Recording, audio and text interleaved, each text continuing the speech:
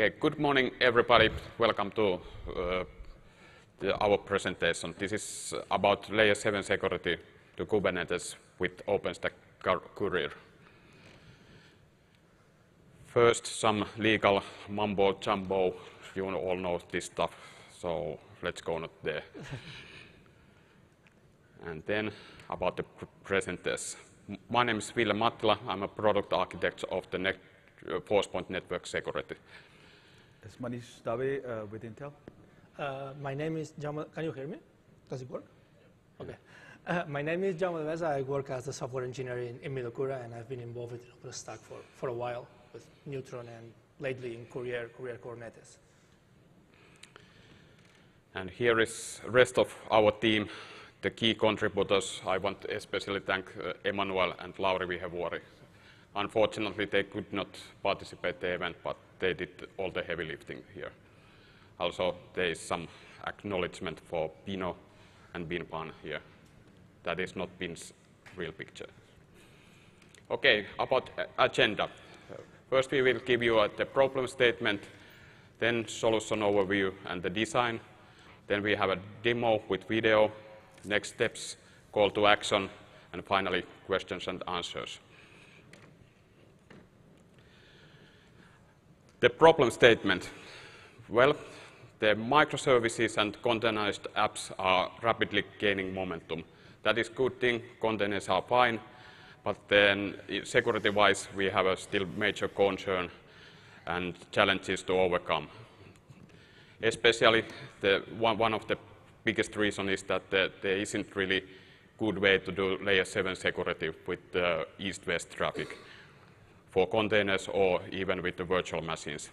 And layer 7 security appliances uh, on, on the edge cannot uh, or do not have any visibility inside the cloud, cloud's east-west traffic. At the bottom, there are some, some surveys about the containers adaptation, and there was one keynote feature where there was a, they said that there's a three times more containers used than, than virtual machines. So microsegmentation for containers. What is the gap and what is needed? So basically, uh, we are, we are stating that the network policy does basic access control, and it is not sufficient in all cases. Access control lists are like boarding pass and the layer 7 security is then the security check and the scanner when, when you are airport. And if you are clean, you can go inside. The container networking solutions like Flannel work well, but there is not multi-tenancy yet, so, so there, there are these kind of gaps here and there. The uh, layer 7 security to Kubernetes with open, OpenStack Kuryr will allow us to do the microsegmentation, meaning very fine-grained control between the container services uh, and have an advanced threat protection for virtual machines and con containers. Also, we can do automated policy security insertion and follow all the normal container workflows. I mean here that the uh, bringing the, uh, this kind of security uh, appliance or container do not require you to do all, all, all kind of strange actions in, in your environment. It should be as trans transparent as possible for, for your networks, networks here. Next, Joe will talk about the solution components. So, what do we propose? Uh, we have created uh, point uh, Intel, and Midokura a proof of concept that tries to solve these, these problems that Bill has, uh, has already explained to you. So this is basically based into, into platform. One is a container infrastructure uh, orchestrator uh, based on Kubernetes, and the other one is an L, uh, L7 security solution uh, orchestrated by Intel OSC and implemented by Forcepoint container.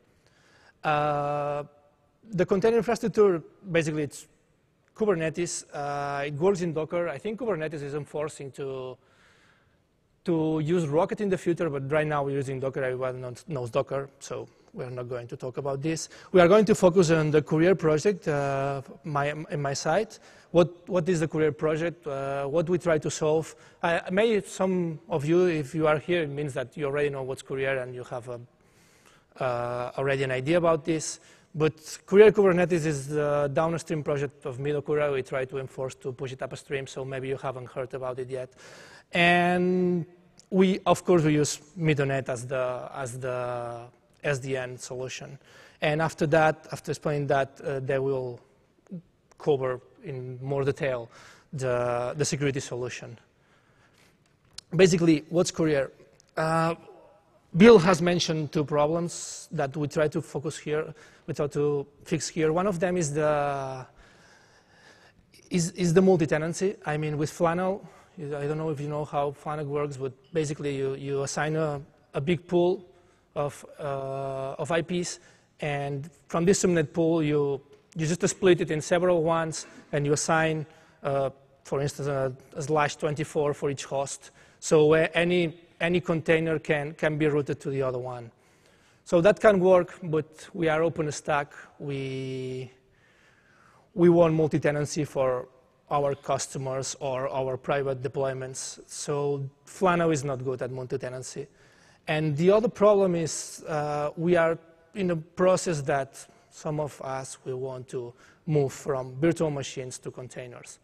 This cannot be a, a turn off, turn on solution. So you want to just move some services, try to work, try if it works, scale them, remove the virtual machine one, and so on. So you want the virtual machines and the containers uh, running in the same network. And this is what Kuryr tries, tries to solve.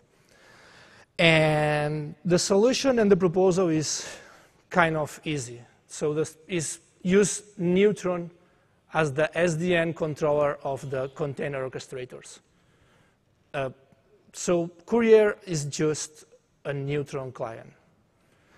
And don't think about this as a, as a single project. It's an umbrella of project that try to cover all the, all the container orchestrators. I think right now, upstream, there is only, there is only, yeah, this is the status of the project here. There is only uh, Kuryr lib network deployed, uh, which takes care of, of Docker Swarm, and, but in the future, now we are going to introduce the Kuryr Kubernetes, but in the future, maybe Kuryr OpenShift, well, it's more or less like the Kubernetes one, and Kuryr Mesos or whatever. So Kuryr tries to cover all these container orchestration, whatever is your choice, and, and bring, it, bring them to, to OpenStack.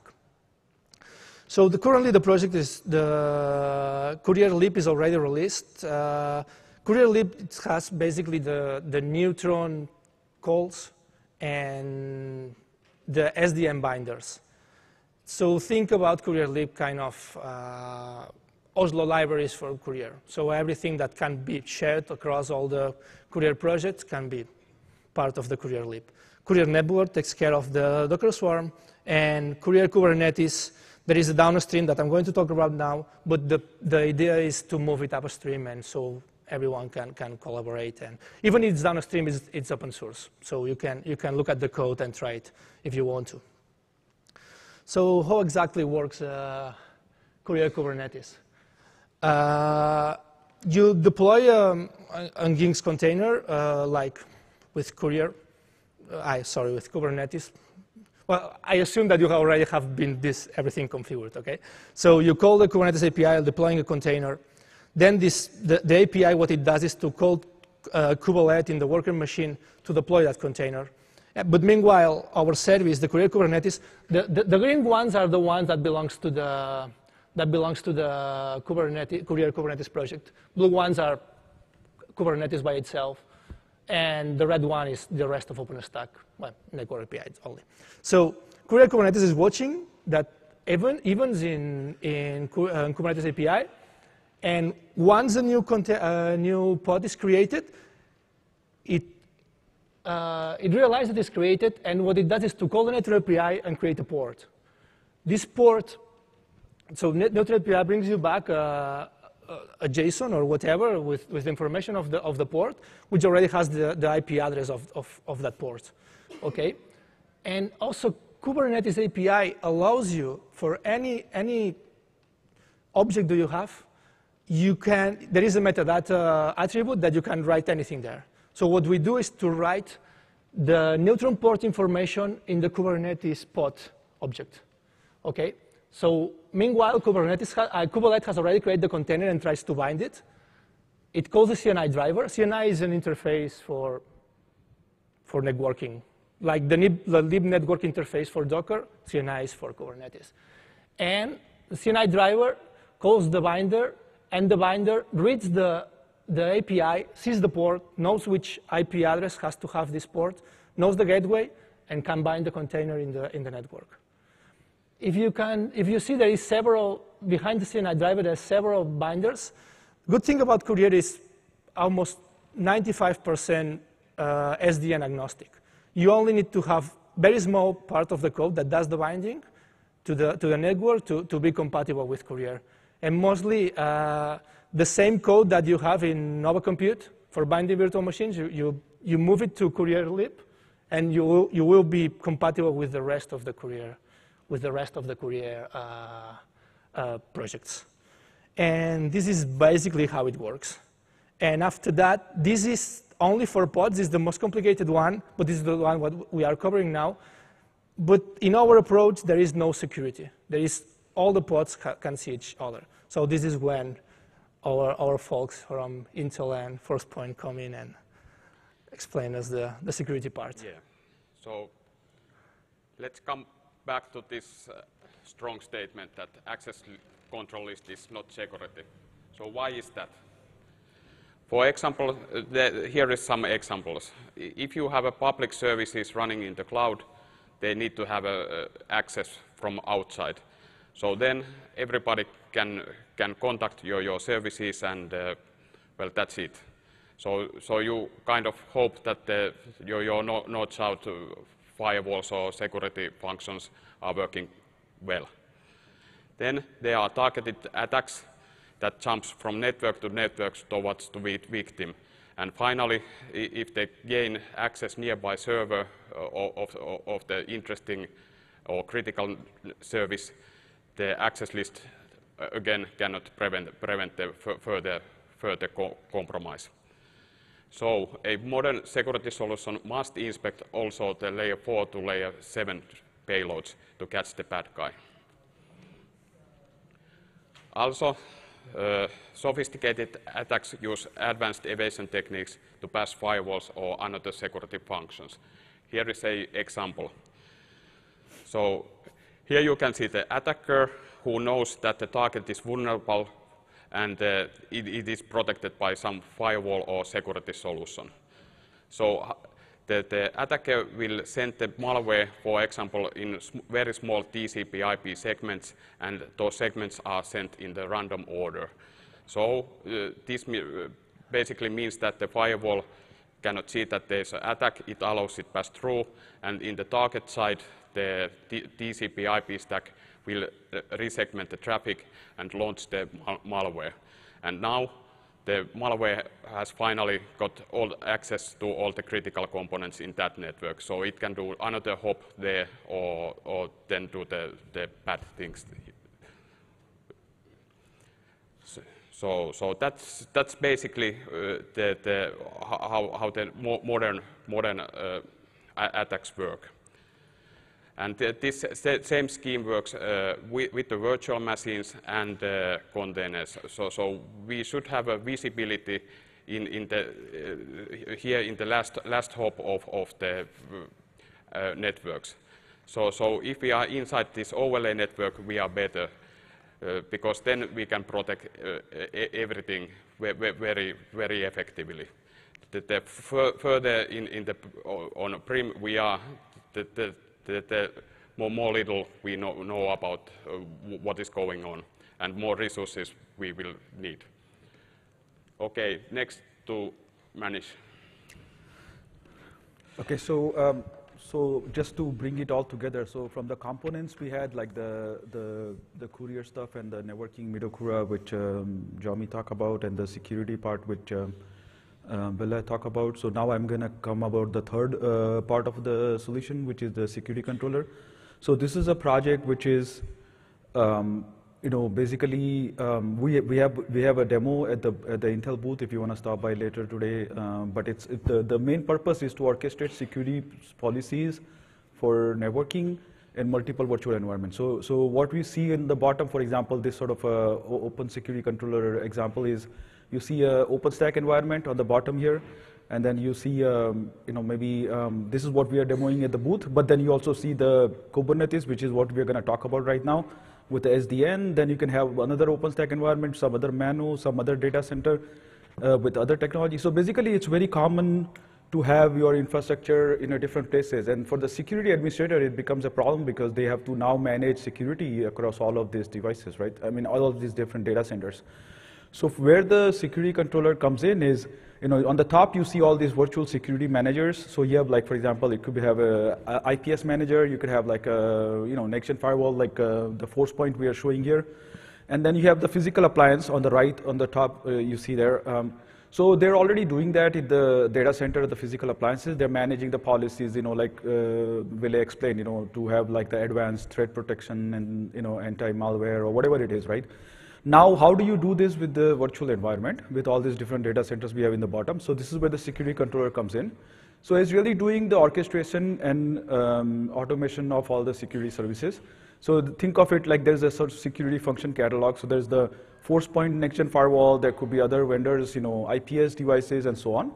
And then it's taking that and then actually, um, you know, deploying this as a virtual sort of like uh, appliances across the distributed virtual appliances. The distributed virtual appliances is nothing but a logical entity on how you enable that across all these different data centers. So this is now sort of helping, you know, create like, you know, very powerful concept because the security administrator can now continue use the same tools from a centralized, you know, management perspective for all the policies, whether it's uh, across the containers, across OpenStack, or you know all your physical and all that, right? And then for the managers, security managers, is another good point because for them, they don't have to deal with the lower level details for how to work on each of these environments. So this demo here is showing, which I'm going to walk through after this, is going to show you how it will work with the Kubernetes. But then, you know, you also have the OpenStack and so on. So now the security function doesn't really need to worry about the lower level details of the actual infrastructure, how to integrate with that, with different SDN and different you know, uh, container or OpenStack uh, other cloud technologies. So the security controller is going to abstract that and then make it possible. So let me go into the demo now. So the demo, first let me walk through like the high level topology. So this is uh, on the top you see uh, a simple, you know, like there, there is a there's a client, the evil client part, and then on the on you see the web server part. The web server is the vulnerable web server, like Ville explained, you know, something that can be exploited. Um, now, if there was only ACL, which we will show before uh, before the insertion is happening, you will see that how the client can actually use a shell shock attack because the web server is vulnerable to that, right? And then what we'll show is how we are going to, thanks to Kuryr and then the Open Security Controller with the containerized uh, Forcepoint appliance, uh, we're now actually going to insert dynamically um, the Forcepoint uh, you see in the center there, and then it's going to do the layer 7 inspection, and then you will stop the attack. So on the bottom, you see like the components. We have kind of talked about those uh, in isolation, three of us. But you see the uh, Open Security Controller. Of course, there's the Kubernetes itself. So the first step is, you know, we're going to deploy, and I'll walk through the, the demo, right? We're going to deploy the uh, actual security container, which is the Forcepoint security container. The next is we're going to go get, thanks to, well, I should step back actually. The zero step is, you know, because of the Kuryr, that network binding has already happened and all the information is available in Neutron. So then we will go and deploy the security uh, function. Then we will go ahead and in, get the information on what needs to be protected, which is really in this case the the, the, the vulnerable web server part, right? And once we know that, then we will go ahead and do the service insertion, and that's where it will come in, where the Forcepoint appliance is now going to stop the attack. So that's how the demo is constructed. And uh, just, just real quick, so you know, we just deploy the appliance, uh, which is again containerized, okay? Uh, so then we do like the actual insertion using the, thanks to Midokura and uh, Midonet and Neutron uh, with the Kuryr's Kuryr uh, work that uh, Jomi explained. And then finally, we drop uh, the layer 7 attack. So this is another physical view of the topology before I go into the actual demo. So you see again in the security control on the top, and then you have like the three nodes um, we, we, we work this demo on. You have the OpenStack controller itself, you have the Kubernetes, and then you have the worker. And the OpenStack, we're just using the, for this demo, we're just using the Neutron and, um, of course, Neutron and um, Keystone for authentication. Uh, but then we have the Midonet agent, of course. And then we have the uh, Kubernetes pieces. And then uh, what we are showing on the bottom here is the actual uh, Docker image for the Forcepoint, uh, which is a security appliance, and then the actual uh, next-gen firewall security pod. Okay? So let me quickly walk through the demo now. So this is like a UI for the security controller. So before I start, uh, you can see um, on the on the left side is all the configuration that we're going to walk through. So the first is this is the security controller. Again, you know there is a actual demo for this at the Intel booth for the OpenStack piece of it. This is the prototype we have done for the Kubernetes, just to be clear, right? So on this one, you see on the left the virtualization connector. So on the virtualization connector is very defined in case of uh, OpenStack, you'll define you know, where your, what your OpenStack controller is, what your credentials are for Keystone, and so on and so forth. So if you think of it that way, so you'll have the virtualization connector. The manager connectors are really where you are going to define the security managers. So in this case, will be the Forcepoint manager that we have to define all the credential and information for. The third one is the service function, uh, the catalog. This is where, you know, if, if you remember in that uh, uh, high-level architecture I showed, you have different uh, virtual appliances. So this is where the catalog is for the appliances. Now in OpenStack, we actually have the actual image, which of course uh, QCOWS2 or whatever it is. And then there will be other details about the, about the image itself, which is like the JSON file. But in this case, we're just using the JSON file because the image is already available through the Docker. So we're going to use that. And then finally, we'll show you how to do the distributed appliance, okay? So let me start the session here. So first, we're going to add uh, the, so I'm going to pause here. So first, we're going to add this. This is where the virtualization connector is. So this is where I'm going to, we are using SDN controller, so we're going to use the Midonet, of course. Then we have the Kubernetes, and then on the bottom you have the Keystone, and that's because of the Neutron. Remember, because the Neutron part is what we are using. So after that is done, so now that I have defined how to reach uh, Kubernetes and the infrastructure, next we're going to go and create the, the catalog. So this is where I'm going to import the image. Again, uh, if it was uh, the, in this case, we're just using the JSON file because it's got the information on how to, you know, authorize the image and download it from uh, the Docker.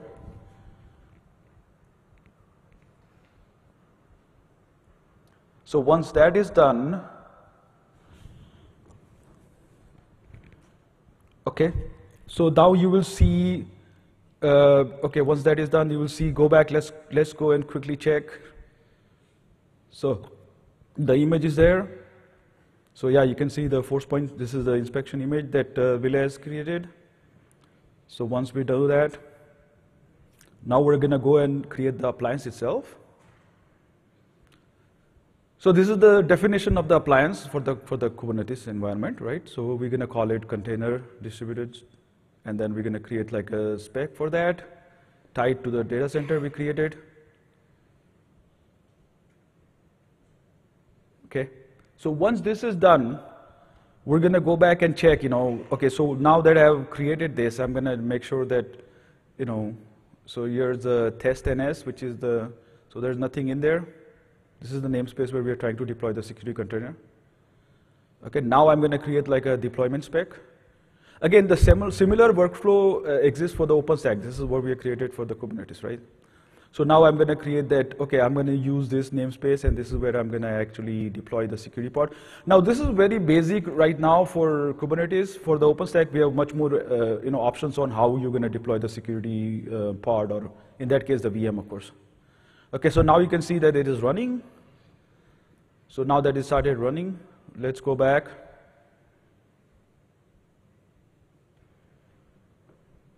And then we're going to do the, the actual uh, security group. So this is sort of like, think of it as now you're creating like a, a infrastructure. Okay, so let, let's first check the, okay, so this is the victim. This is the web server which is vulnerable. So now I'm going to add. So the reason I went there is to check which uh, namespace. So I'm going to protect that namespace.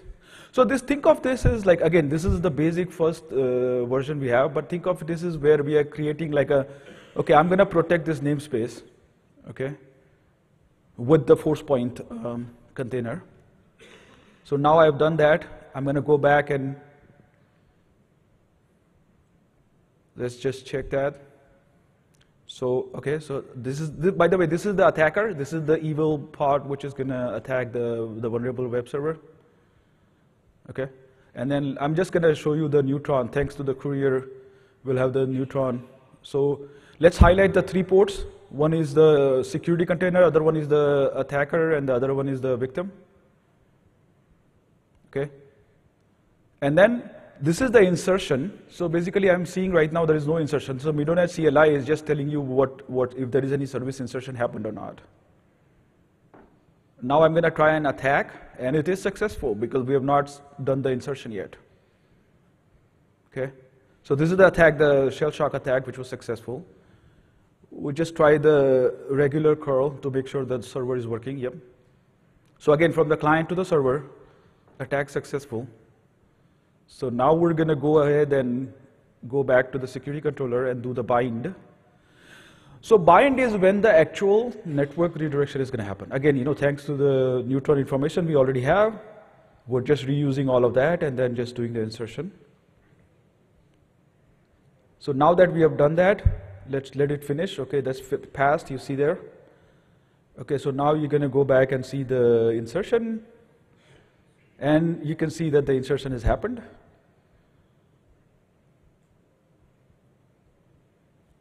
Okay, and then we're gonna try the curl, which should work, yeah. This is the normal curl, right, uh, which, which should work, which is a normal traffic. But we're gonna try the attack, and it's not successful. So let's just go back and log into the Forcepoint um, container and check the logs. So just gonna find the ID, and then do a docker exec and then uh, see the logs.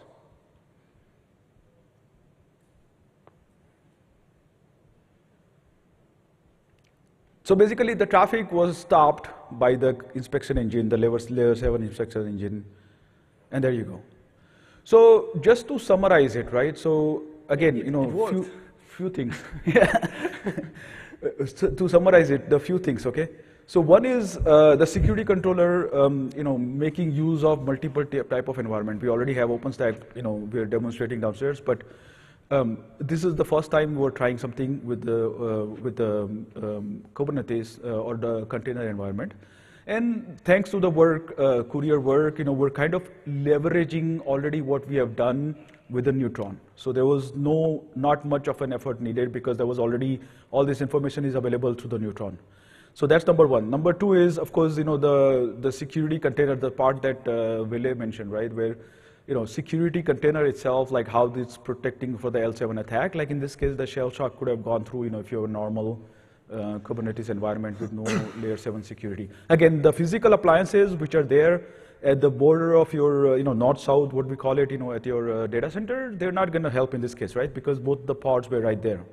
So this is the kind of the key point here, right? So is being able to orchestrate like this type of you know layer seven security in the in a Kubernetes environment. So I think at this point I'm gonna hand it off to uh, Jomi. He's gonna walk through some of the next steps and call to action. Yeah. Well, basically this this is what we have, and as I said before. Uh, the part of middle Midokura is a proof of concept that we have downstream is open source, but it's downstream so if you are a developer, you are interested on contributing Kuryr, you have the, you have the reference here to uh, the weekly meeting, the list to ask anything or to start to try to collaborate. So I, I would like you, I, I would like more help on that. So, and also, the, in terms of uh, native, native uh, security in Kubernetes, there is a, a network policy already, Science Kubernetes 1.3. uh, that we haven't used it in this case, and we would like, that would be great if we try to push the labels that we use for level 7 as a standard Kubernetes uh, network policy, uh, network policy labels. That would be great as well. If you want information about Forcepoint, just contact. And this is the roadmap for Open Secure Controller, some, some of the points of the roadmap. And also here, more links and reference if you are interested on it. Uh, mostly about upstream MidoNet and MidoNet service chaining. If you are interested on it, it was previous talks in previous summits. You can check it here. And basically, that's, that's all. So, any question? I think we have like 10 minutes, so if We any have 10 minutes, yeah. Please. Yeah, please. Kubernetes, you had the network pieces. If Kubernetes was not there, we were just looking at a pure neutron solution. Are you doing the same metadata with network tags, and shouldn't those tags be on the port? So isn't there another call to action that says, make neutron tags work on all neutron objects? Uh, probably, yeah. yeah, yeah. I mean, I, I put the, the most, I mean, the, not the roadmap of, of, uh, of Kuryr Kubernetes on here. So if you want, if you want to see the roadmap upstream, there is, there is a. But i- in, in Kubernetes, you have to read the network tags in the port, right? Right, but if I'm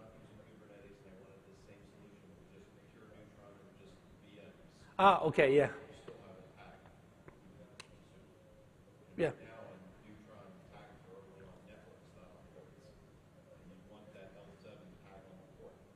Yeah, probably, right? I mean, Yeah, where did yeah. you get the information of? Yeah, once we get the tag information, then we can take the action based on that. Is it, yeah, It's just, it's just only available on ports right now. It needs to be on all neutron objects to let you do this in just pure neutron. mode. You can't do Kubernetes does. so, So that, that's your part because I don't know from where you read information from Neutron to get them. I just, just today, okay, the only tagging mechanism that's, that's visible from neutron, Mhm. only on Mm-hmm. neutron networks. okay. So they introduced the tag API, but it's only on the network. Yeah. You guys need it on the port, right? So basically, once we read the label, we can take the action. See, right now we were looking at the neutron, right? So what we want to do, if possible, like, I mean, this is of course one of the projects, right? That we. So for us, it's like, okay, I want to have like a solution which works like I was showing, you know, for different environments, right? So Kuryr with Neutron is one environment, right? Now, if you want to go natively, right, then uh, if there is a way for me to read where I want to do that sort of thing, right? And then ability for me to do the rest of the insertion, right? So those are the two things I need from the network, right? One is I need to know, okay, the information of what to redirect, and the second is I need to have an API to do the redirect, right? So right now we're exploring some of those things with the Kubernetes, and the, we saw that some of the labels, the L7 policy label and tags and those things, is where we could sort of take the next steps. And honestly, we have not done uh, deep work there, right? But just want to see if what we can explore over there. The reason we started working with Kuryr, which was kind of like, it was really easy because for us, it's like all the information already there in Neutron. And because of the work we have been doing with the Neutron so far, you know, we can just do the service chaining insertion and all of that, right? So hopefully that makes sense, right? Just, a pure neutron solution only would require you to tag ports with your L7 policy. Right? I understand that. Yeah, Yeah. it should be possible. Yeah.